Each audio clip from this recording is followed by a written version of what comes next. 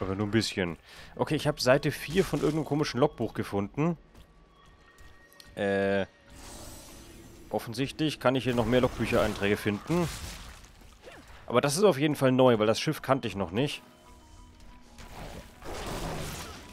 Also das Schiff war mir noch nicht bekannt. Was haben wir hier? Metan, der Totenbeschwörer. Stimmt, der Totenbeschwörer gab es ja schon vorhin im Spiel, zumindest als NPCs. Seid gegrüßt, Meister Metan. Was habt ihr hier entdeckt? Mächtige Geister suchen diese Ruinen heim. Ich war nicht stark genug, sie zu besiegen, aber ich konnte sie einsperren. Ich fürchte, der Kult, der die Region heimsucht, wird versuchen, sie für ihre lästerlichen Zwecke zu missbrauchen. Wenn ihr es wagt, könnt ihr versuchen, sie zur Ruhe zu betten. Aktiviert die Totems, um die Geister freizulassen und seid auf einen Kampf vorbereitet. Okay.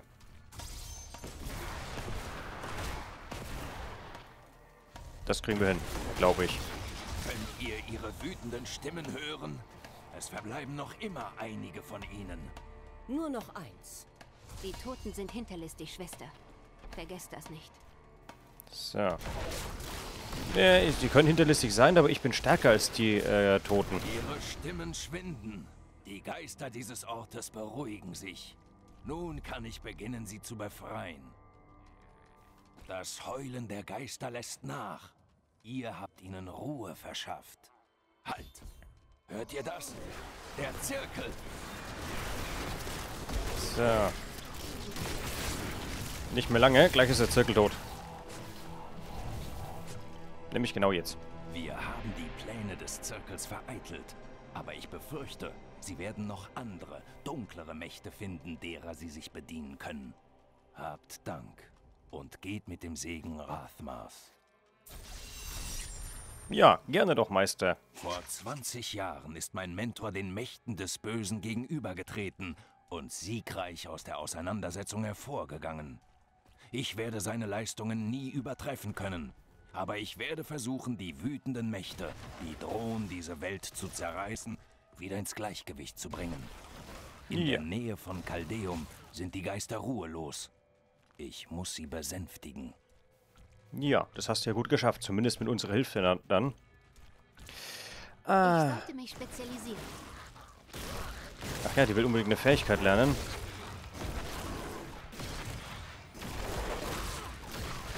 Kriegen wir hin. So, sobald hier die ganzen Gegner tot sind. Ziel ist zu weit entfernt für diese Fäh Fertigkeit. Aha. Es gibt tatsächlich eine Range bei dieser Fähigkeit. Interessant. Aber die ist eigentlich auch vernachlässig äh, vernach vernachlässigbar? Gibt es das Wort? Ich glaube ja. Ähm, also, was machen wir hier? Äh, betören. Die Verzauberin betört einen Gegner und bringt ihn dazu, 8 Sekunden lang für euch zu kämpfen. Nett. Löst eine Arkan-Explosion im Umkreis von 8 Metern um den Gegner aus, die 410% Waffenschaden als Arkanschaden verursacht und alle Gegner in ihrem Wirkungsbereich zurückstößt. Ja, warum Das nicht? wird nützlich sein. Geschossschutz. Stärkt euch und die Verzauberin, sodass der durch Distanzangriff erlittene Schaden um 6% reduziert wird. Stärkt euch und die Verzauberin, sodass die Rüstung um 3% erhöht wird. Außerdem werden Nahkampfangreifer eine Sekunde lang um 60% verlangsamt. Das mag ich. Ja, ich auch. Ich mache das mit dem Verlangsamen, das ist nie schlecht. Die Ruinen. Alter, was es hier zu entdecken gibt. Vor allem, ich will mit der Quest weitermachen und lande jetzt hier in irgendwelchen komischen Ruinen die ganze Zeit. Hm. Was jetzt nicht so schlimm ist, aber halt trotzdem irgendwie, naja, man kommt nicht wirklich voran hier gerade.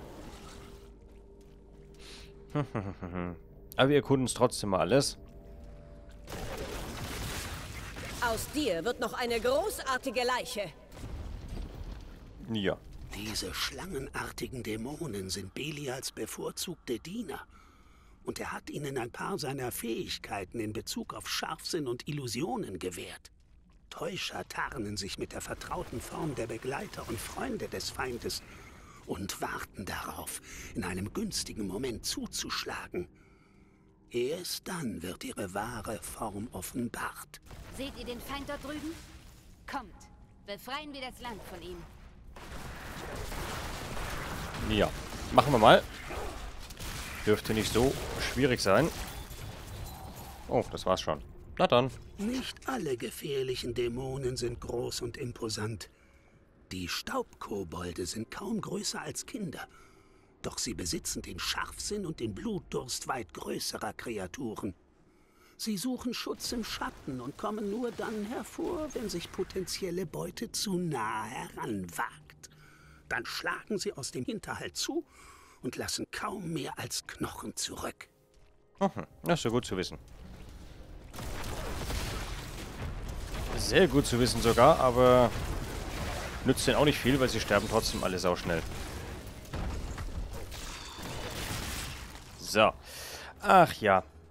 Ich muss übrigens sagen,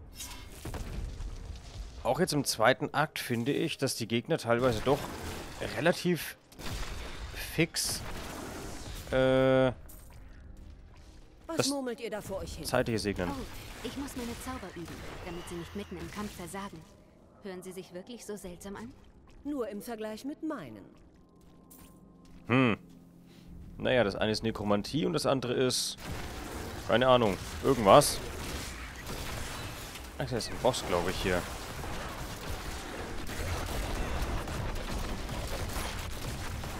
So. Bum, bada, bum, bum, bum. Weg mit dir. Nett. Ach ja, Igul der Wilde haben wir getötet. Fantastisch.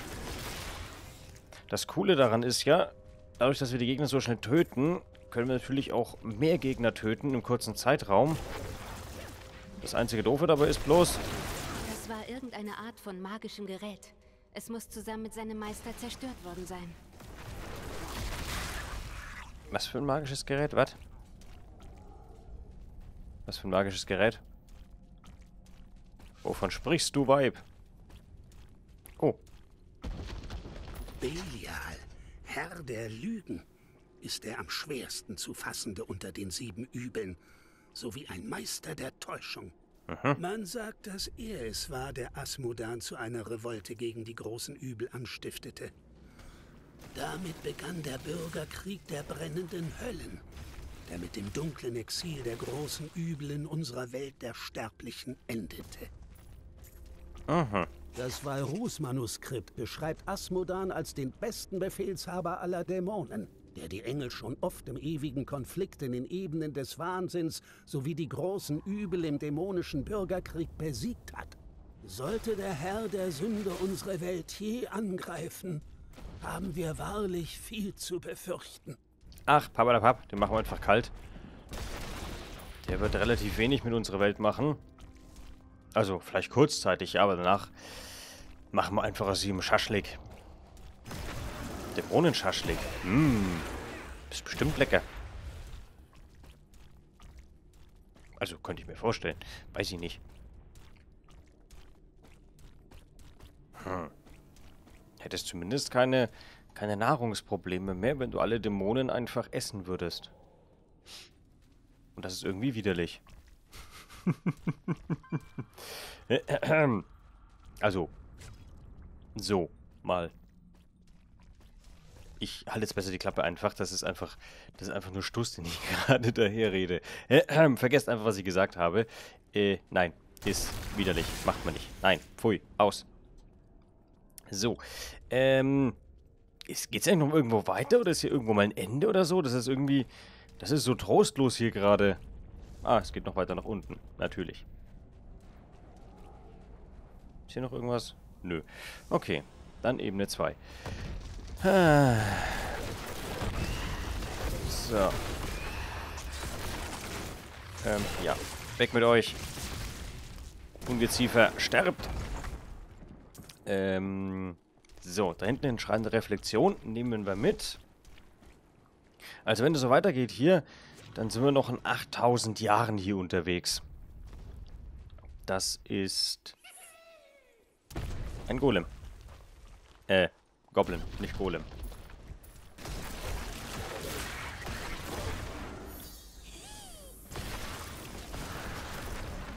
Nein, oh, ich hasse es.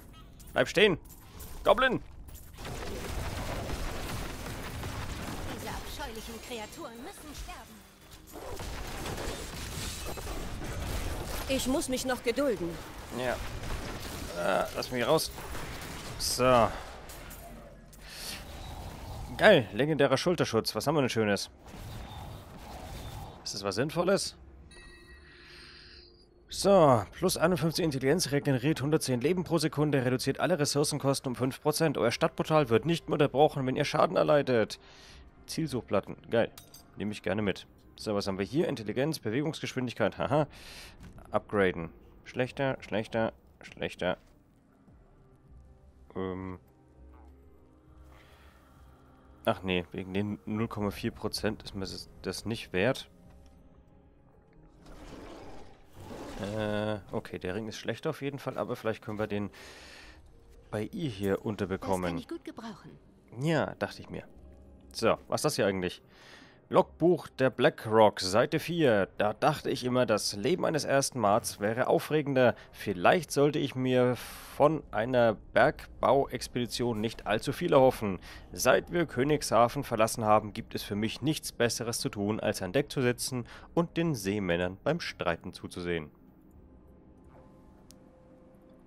Okay, na gut. Oh, prächtige Truhe. Da ist schon die Truhe hier. Krass. Halt. Ui, Diamanten, geil.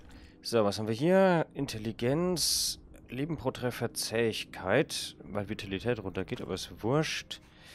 Äh, Einhand, okay. So. Leben haben wir 2712. Das reicht momentan ein bisschen zumindest. Also momentan ist es dann relativ wurscht.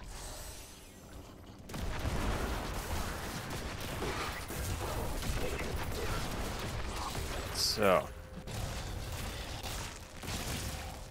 Ich mag das sehr. Wenn äh, Bosse und Champions so schnell sterben.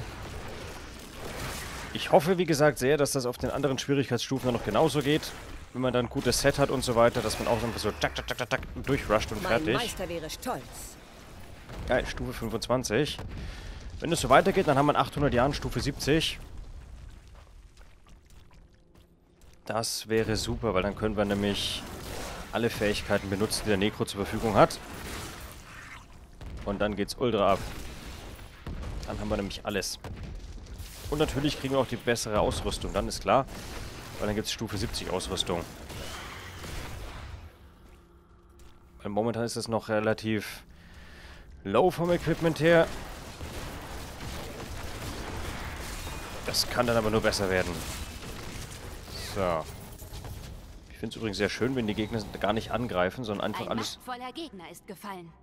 Sondern wenn die einfach alles über sich ergehen lassen und sich dann null verteidigen. Das ist nie verkehrt. Komm, sterb. Weg mit euch. Sag mal, blöde Spinnen. Warum fühlt ihr euch leer? Es gibt Teile von mir, die für mich verloren sind. Sie schweben am Rand meines Bewusstseins. Aha. Und was für Teile? Jetzt muss schon genauer werden. War das, war das eine Reisetasche hier noch? Nee. Ich dachte, das waren äh, eine Überreste von... Ach nee, hier ist Reisetasche noch. Diablo war der jüngste der großen Übel. Aber ich halte ihn für den gefährlichsten, denn seine Macht über den Schrecken macht es ihm unmöglich, Angst zu verspüren.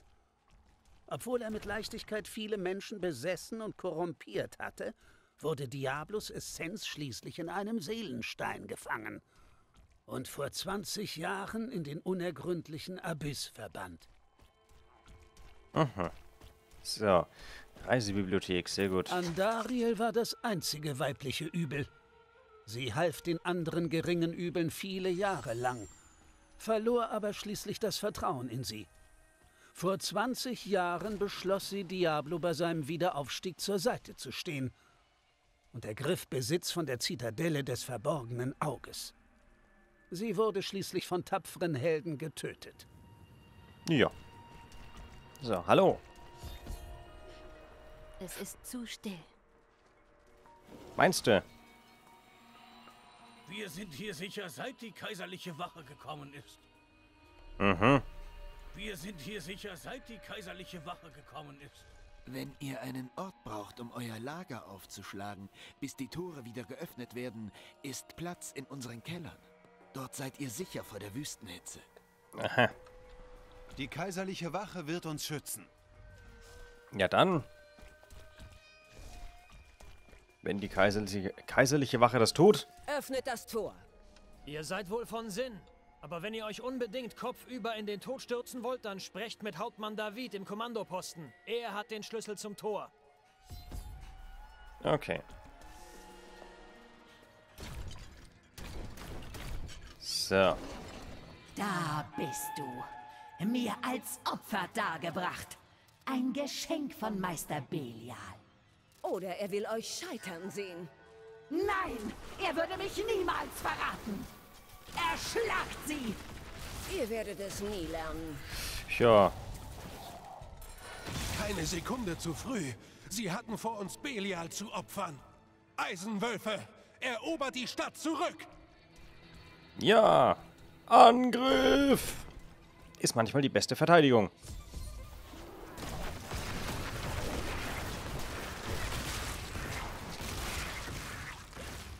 So.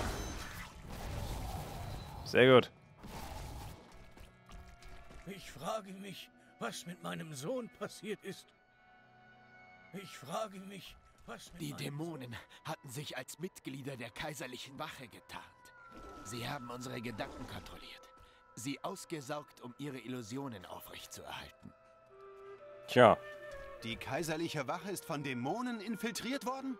Oder sind sie vielleicht alle Dämonen? Hm, wahrscheinlich letzteres. Ist Magda nach Alcanus gegangen?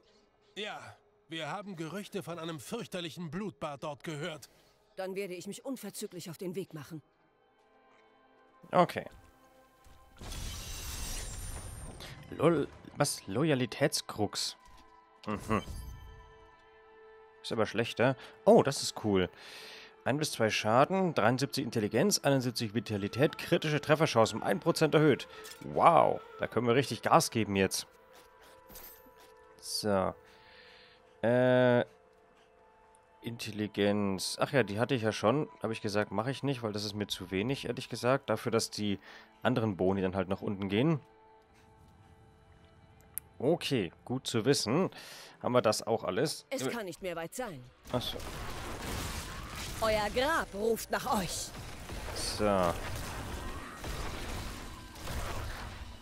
Ich wollte eigentlich in die Stadt zurück. Ich kehre in die Stadt zurück. Weil ich würde gerne mal kurz, ganz kurz die Sachen verkaufen. Hey, verehrte Dame. Ich habe ein paar neue Waren. Das ist übrigens cool, dass ihr dann sagt, verehrte Dame. Das ist sehr cool, dass die, dass die da wirklich eine Unterscheidung macht. So, alles weg. Zack, zack, zack, zack. So, Blutsplitter haben wir noch keine. Da sehe ich hier unten mich gerade Blutsplitter. So. Die Seite tun wir auch mal weg. Keine Ahnung, was ich mit der soll. Achso. Den habe ich hier übrig gelassen. Der ist ja nochmal geflohen dann. So. Ähm.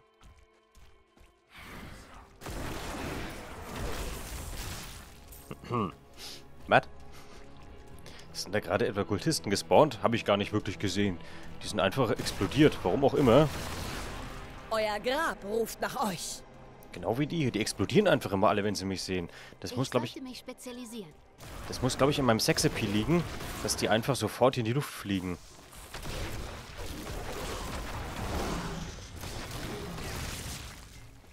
So, was willst du? Desorientieren blendet Gegner im Wirkungsbereich mit einem Lichtblitz, wodurch sie zwei Sekunden lang desorientiert umherirren. Beschwört einen Teich aus arkaner Energie, der im Verlauf von 5 Sekunden 330% Waffenschaden als Arkanschaden verursacht. Betroffene Gegner erleiden außerdem 3% zusätzlichen Schaden. Dafür habe ich so lange geübt. Äh, zusätzlichen Schaden, so rum. So, dann haben wir das.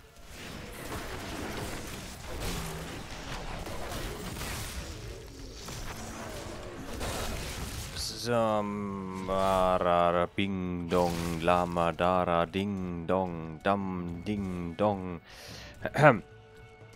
Einfach um irgendwelche komischen Beschwörungs... Äh, Zauber sprechen. Hilft der vielleicht. Hier drüben, bitte. Es bleibt nicht viel Zeit.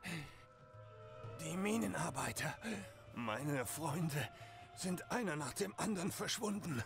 Sie wurden von den Kultisten gefoltert oder versklavt. Nur ich blieb zurück. Und auch euch bleibt nicht mehr viel Zeit. Ja, doch, es hat sich gelohnt. Ich habe das Monster befreit, das tief in der Höhle lauerte. Und dann die Kultisten hineingelockt. Bitte, geht hinab. Stellt sicher, dass sie alle tot sind. Und tötet dieses Monster, bevor...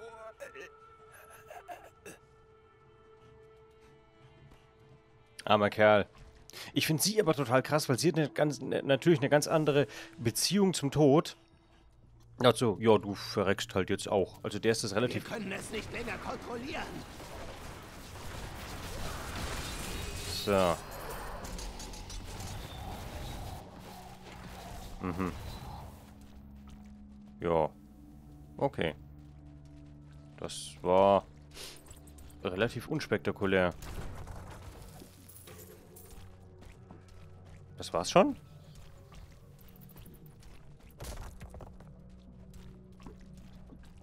Ähm, das war's? was? Ach, hier, Aufzugshebel. Da ist noch was. Ähm. Ah ja, ganz viel nichts. Ja, das hat sich gelohnt. was? Das hat sich ja echt gelohnt hier einfach. Weißt du, den Gegner so zack, zack, zack, tot. Kultisten, tot. Von ihm geht das Licht der Seraphim aus. Er stammt von den hohen Himmeln. Ihr seid mit eurer Gefolgschaft wahrlich gesegnet. Ja, finde ich auch. Ja, okay, dann haben wir mal ganz spektakulär die Mine hier gemacht. Das war ja... Hui, Respekt. Ein Hammer. Toll. Geil. Kann ich zwar nicht gebrauchen, aber wir haben wenigstens einen Hammer. Haben wir, durch, Fürchtet nicht das Ende. Haben wir durchschlagende Argumente dann wenigstens, wenn jemand, uns jemand auf den Keks geht. So. Ich weiß, ich musste runter. Ich gucke bloß hier, ob noch ein bisschen was da ist. Weil ich, wie gesagt, es gibt vielleicht noch irgendwo Höhlen oder Gebiete oder sonst was, die man machen kann, beziehungsweise wo noch irgendwelche Schätze dann zu holen sind. Ist vielleicht nicht ganz so spannend, aber ich hätte es gern halt mir angeguckt. Vor allem hoffe ich immer, dass noch irgendwo Bossgegner sind. Dass wir äh, gegen Bosse Wir kämpfen. müssen uns einer weiteren Prüfung stellen, meine Freundin. Wie das hier zum Beispiel. So. Aber die looten hier momentan noch nicht ganz so gute Sachen. Verfault und verrottet. Ja, das tun sie auf jeden Fall. Bumm. Zack. Oh, noch mehr Kultisten. Juhu. Massaker. Töten, töten, töten. Alles kalt machen hier. Ach ja, so. Auf nach Alcanus. Straße nach Alcanus. Sehr gut. Da ist ein Teleporter. Activated. Zack. Ich finde den Blutgolem irgendwie auch cool. Ich benutze den bloß zu selten, weil ich keine Gelegenheit habe, den zu benutzen. Weil die Gegner alle so schnell verrecken gerade, dass es keinen Sinn macht, da irgendwie Leichen anzuhäufen. Das macht dann bei späteren Gegnern, beziehungsweise vielleicht bei, äh, bei Magda und so weiter, kann das durchaus Sinn machen. Weil man dann genügend Leichen drumherum hat, dass die ordentlich Damage kriegt. Also, wäre jetzt zumindest eine Theorie. Duriel ist Andariels Zwilling. Ich glaube, dass sie sich verschworen hatten, um Diablo dabei zu helfen, Mephisto und Baal zu befreien. Auch wenn sie in der Vergangenheit beide die geringen Übel unterstützt hatten. Der Herr der Schmerzen bewachte Baals Gefängnis, das Grab von Tal Rascha, als er von Helden getötet wurde. Ja. Der Duriel. Das Schlimme ist, wenn ich die ganze Story höre, nämlich wieder voll Bock, Diablo 2 zu spielen. So, die lassen wir mal nicht transformieren hier. So. Alle Leute. Lasst diesen Ort hinter euch. Alle Leute befreien hier. Den Göttern sei Dank. Die Flüchtlinge erwarten euch in Kaldeum. So. Ich dachte schon, ich würde nie gerettet. Es ist jetzt vorbei. Ganz ruhig. Wir retten euch alle. Zack, zack, zack, zack, zack, zack. So, ich rette einfach alle. Es gibt nämlich ein Achievement.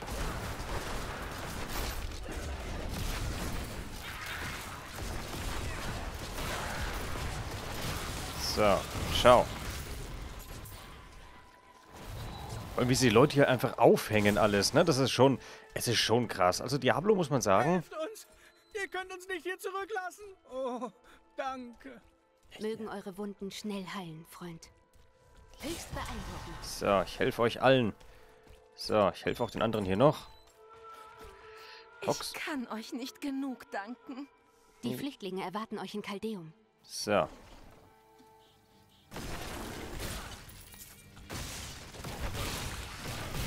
waren hier unten auch noch Flüchtlinge? Ich weiß es nicht. Ja, hier waren auch Flüchtlinge. Es gibt nämlich ein Achievement, wenn man alle befreit, Held von Caldeum, glaube ich. Oder äh, Held von Alcanus, glaube ich, kriegt man. Achievement. Den Göttern sei Dank. Das Mögen hätte ich, eure Wunden schnell heilen, Freund.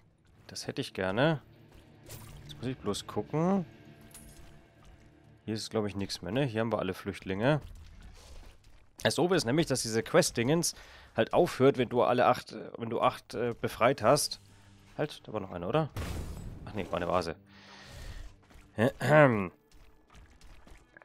So, hier ist niemand mehr drin. Die haben wir, glaube ich, alle befreit hier. Müssen wir in den anderen Keller noch runter. Ich weiß gar nicht, ob es das pro Held gibt oder pro Account dann das Achievement. Das weiß ich nicht. Aber wir machen es einfach. So. Aha.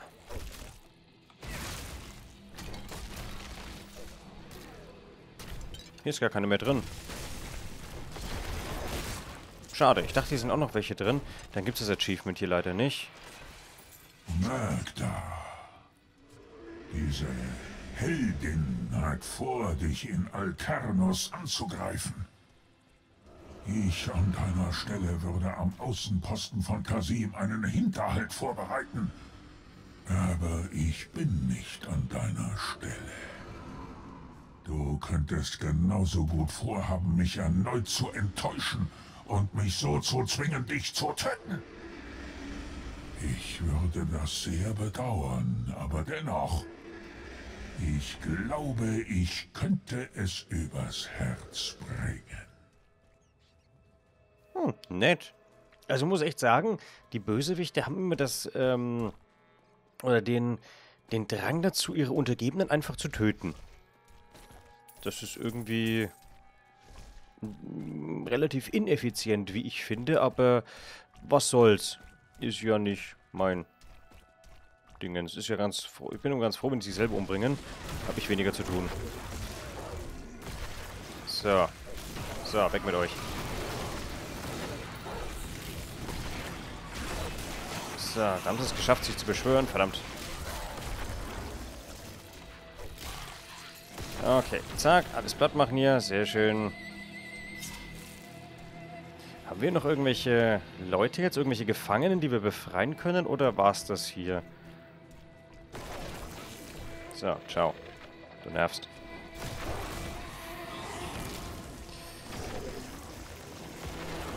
So. Fürchtet nicht das Ende.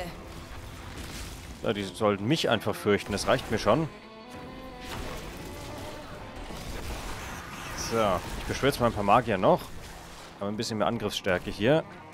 Was wir nicht brauchen, aber kriegen wir die Horden hier schneller platt. Ähm... Hallo? Ah, jetzt sind Leichen explodiert. Da wollten gerade echt die Leichen nicht explodieren. Warum auch immer. So. Alcanus, das ist wirklich ein Riesengemetzel, was die hier veranstaltet haben. Was könnte den Zirkel zu solch blinder Grausamkeit treiben? Das ist eine sehr gute Frage.